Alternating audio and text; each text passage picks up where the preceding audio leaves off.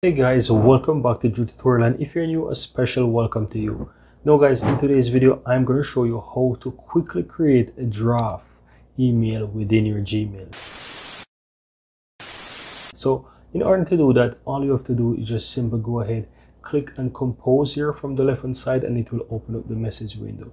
From here, you can go ahead and you can fill in the recipient, you can fill in the subject, you can write whatever you want within the email. But once you're ready to create the draft, all you have to do is just simply click on the X on the uppermost right hand side.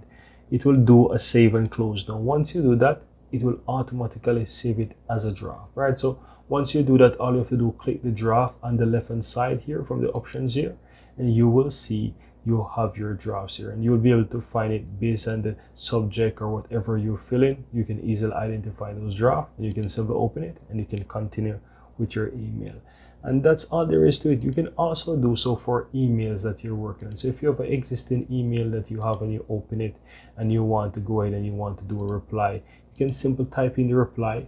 And if you are not ready to basically send this email all you have to do is just go ahead and close out. So you can simply go ahead and just leave it just like that. And you can go back to your inbox and just leave it as is.